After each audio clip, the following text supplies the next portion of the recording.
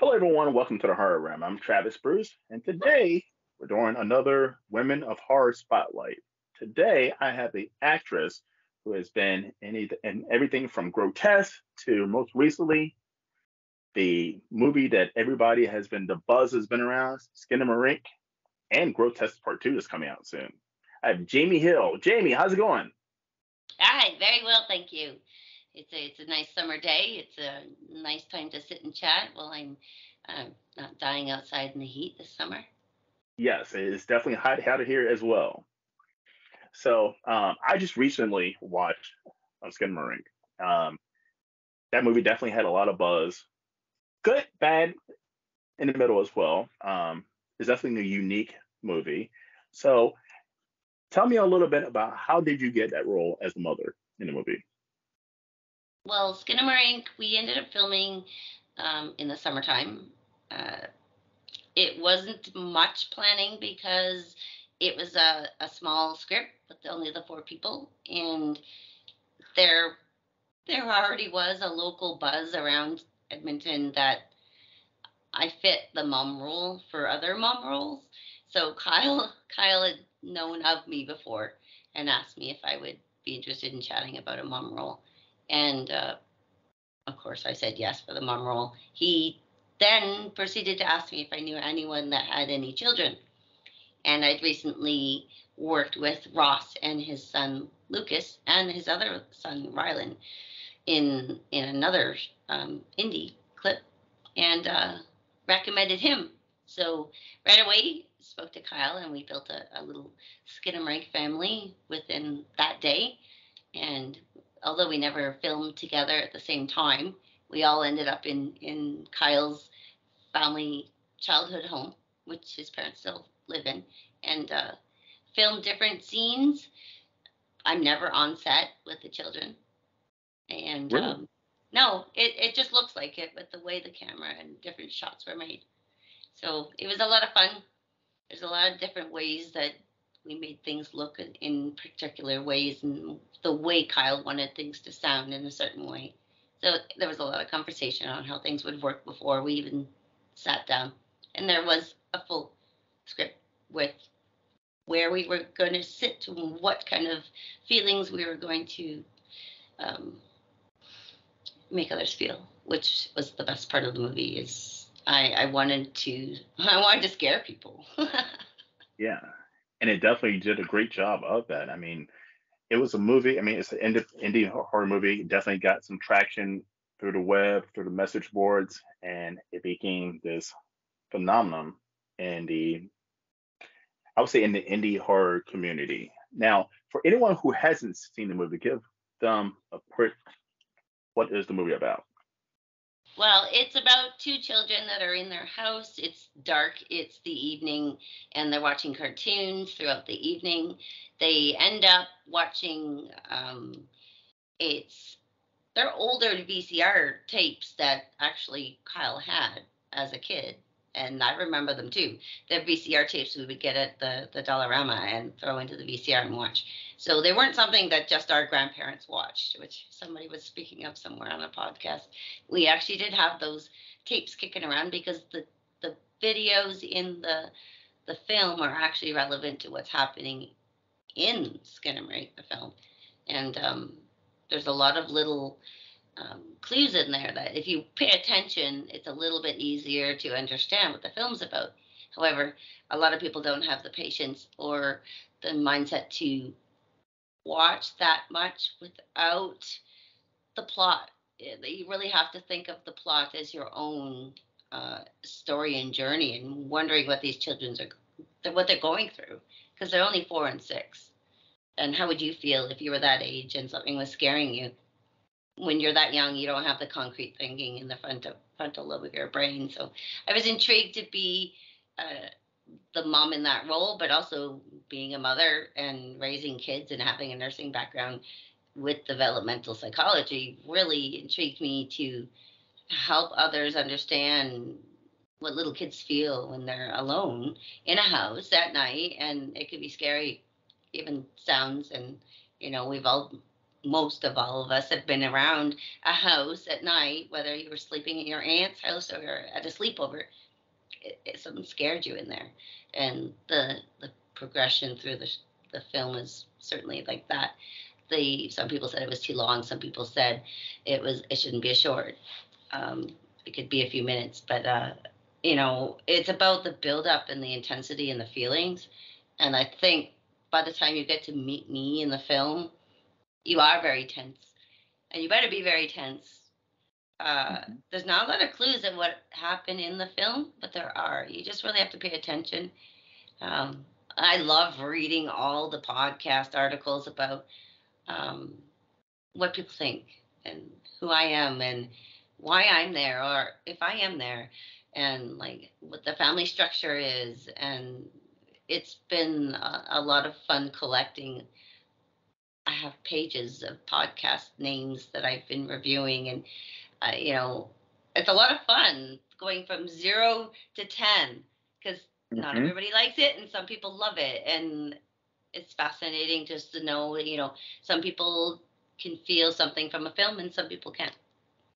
But that's because that's what makes us all different and unique, you know and like you said, it's definitely a movie that it doesn't give you a lot of clues. You definitely have to use your imagination, and you also have to definitely have to watch the whole entire movie for it somewhat makes sense. Yeah, well, you gotta understand he's only four. Little Lucas is only four. So, what is he seeing? Because sometimes you see what he sees, sometimes you see what um, what Dali Rose is seeing. Um, so the two children are the point of view most of the time. However, you know, there's a point of view there of a demon or something in that space looking into those other spaces. And there's th- something in the dark. I know i'm in the dark sometimes. Uh, i know ross sat in the corner on the bed in the dark sometimes. So i can't say it's just a demon. Yeah. Now you've worked in the medical profession before coming over to horror. How do you transition from being a nurse to a horror actress? I stayed in mental health. So I never went into being an RN because I didn't want to be in an office. So I kept working right right with people in the communities. And my most recent job was at a psychiatric hospital. I loved my job, helping people get out of bed. Um, there's a lot of stories you hear, a lot of trauma, and you know people don't understand people don't want to share people have been afraid to share feelings and and that kind of trauma where we all actually go through it. So wanting to help others understand the expression of trauma through film and through mental health with my background i guess being able to recognize it uh, maybe want to just advocate for it and and help others uh, recognize it and you know understand that that's it could be an anxiety it could be a ptsd it, things happen when you're young and you don't know it, many parents didn't even know you know leaving your child at six months old sitting in their room on their bed could be detrimental to them if you don't pop your head back in there because in the 50s they used to say just let your kid cry themselves to sleep. Yeah unfortunately, my parents had to go through those kind of things. So intergenerational trauma has begun before even anybody even knows. So the films that have to do with mental health, it, even Grotesque has to do with a, a, an interesting character. They they intrigued me to want to to be perceived in different views. So in this film, Skinamarink, I'm Scary. Um, and I, I, like to say all a few of my films I've chosen to do because I get to show others different perspectives and masking. You know, when when someone's had something fearful happen to them, sometimes they just smile and nod. I've heard from a lot of people who work in horror movies, whether it be directors, actors, actresses, or even um, even makeup and design, that you know um, that working just as an actor or working in the film industry helps with PTSD. It helps with depression. It helps with anxiety. It has helped individuals with you know trauma that they've had in the past, and that's an interesting concept, and I mean, and that's amazing as well. Well, there should always be someone on set that's uh, qualified to talk to people about those kind of events because no matter whether you acknowledge that they're going through your your your body's going through those emotions and events and even the people watching it there should always be someone around so you can speak about your feelings and everything when you're going through something. So even when someone's playing a role that's that that bad or um, if, if you get hurt and you go through a trauma that you're say you're you're a victim uh, either way there should always be a conversation about mental health and on sets, and I, I'm proud to say I get to do that in Alberta, and hopefully around the world one day. That's awesome. That's awesome. I mean, I'm, I'm glad you know in this country, well, throughout the world, that you know mental health is something that we're finally talking about, also um, representing in movies and mm-hmm. society because it's definitely something important. It's something that for the longest time it's been something that we turned our head to or was even, you know, um, I would say uh, having a bias towards. So oh. I'm, I'm glad that, you know, more and more mental health is being brought out. So speaking of an upcoming role, so Grotesque Part 2 is coming out. It is. It is. And you're going to be in it. I have a little role in it. I wanted to be more involved with my my local indie friends, but things got quite busy after Skinamarink. So I worked it out with my friends that I have a, a new role, and um, she's she's different than Nina. Nina was naive. This one's not so much, and um, you know we always try to be friends with our our Mildred Moyer, but uh, she doesn't always like us. I may have may not gotten killed already in this one. That's awesome. but it's definitely a comedy. A comedy horror, you know, it, it's much more different than Skinamarink. This one makes you laugh. Um, filming on this set is quite hard because we will hold it until Brandon says cut, and we are laughing at times because this brilliant lady is just cracking us up. And uh, then you add all the rest of us on set, and you know, we're a bunch of comedians up here in Canada. So we have a good time. We're a good family. We've made a few movies together, and it's just so easy to work with Elizabeth.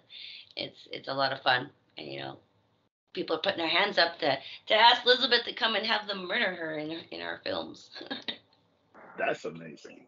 Uh, I'm definitely looking for. I'm, I'm a huge fan of Grotesque Part One, the first one. I'm looking forward to the sequel. All right, so all right, so I got some random questions on that. Since this is a horror show, you're a horror actress. I'm gonna ask you some questions. Sure.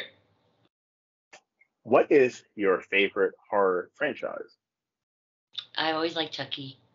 I've always liked the Chucky shows. Um, Child's Child's Play was my my my scary enjoyment as a kid. Uh, mm-hmm. Poltergeist scared the crap out of me, but made me want to know more about horror movies. Uh, so that's, I guess it started at Poltergeist. Chucky's always been my favorite. Uh, I have puppets, and I, as a kid, I had dolls. So Chucky's quite uh, scary at times. Um, so Chucky is definitely a good one. Yeah, and uh, you know, it would be a lot of fun to do another film about you know a scary puppet. Not that my puppets are very scary. She's she's very friendly. Um, anything with a puppet. The movie It. Not much for clowns.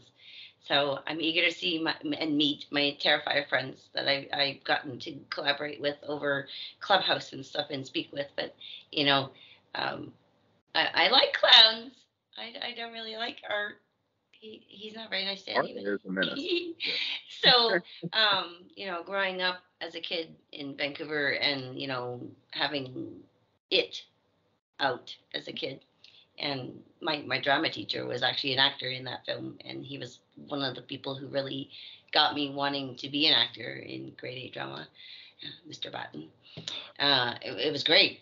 Um, but I still, still didn't like clowns. So anything scary, um, zombies, was, was good. So I would dress up at Halloween and, and, and do some scary things. But, you know, I was always a witch.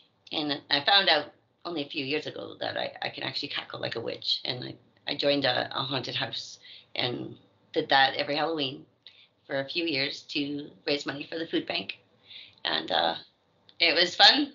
The only thing I, I lost was a bit of my voice because the the cackle would take it away a bit. And well, I'm I'm a, I'm a line actor, and I would be entertaining people in in our big lineup while they were waiting to be terrified by my friends and other family members in there.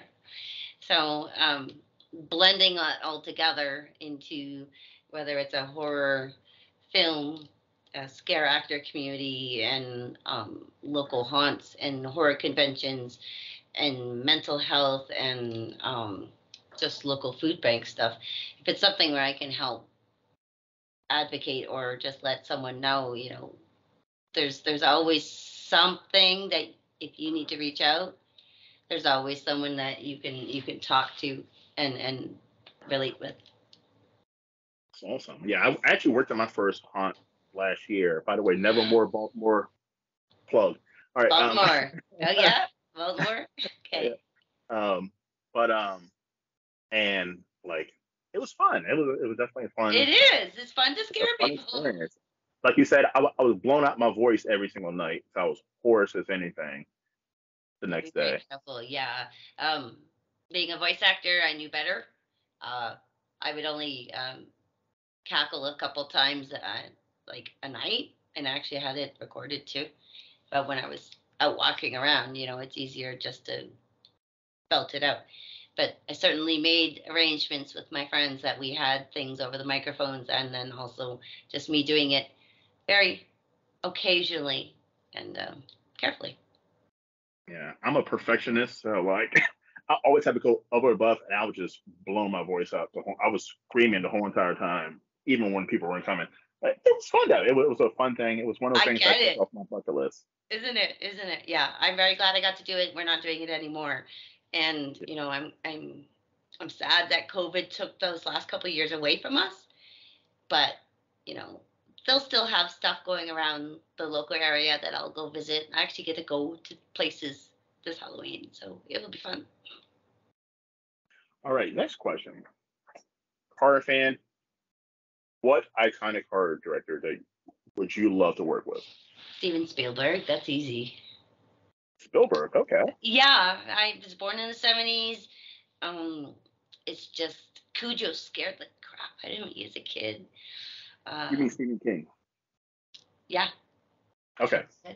Sorry, did I not say Stephen King? You said Spielberg. Oh, Steven Spielberg. Yeah. yeah. Oh, Stephen yeah. King and Spielberg. Yeah. Oh.